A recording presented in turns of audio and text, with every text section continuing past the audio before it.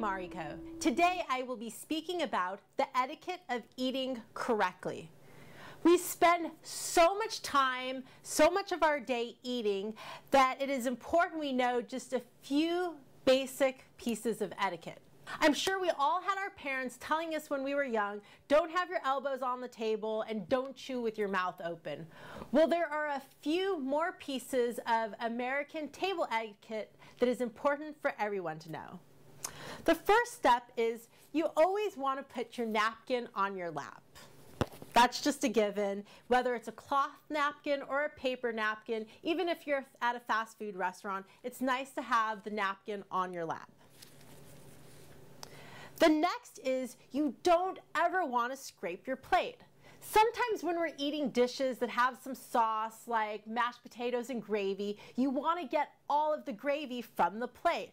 But then you end up doing the scraping sound.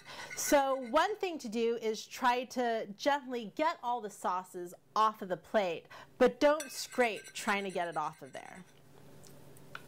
One of the other tips of etiquette is the way we cut. When we are cutting, we want to have our food on the plate. We want to spear the item with our fork.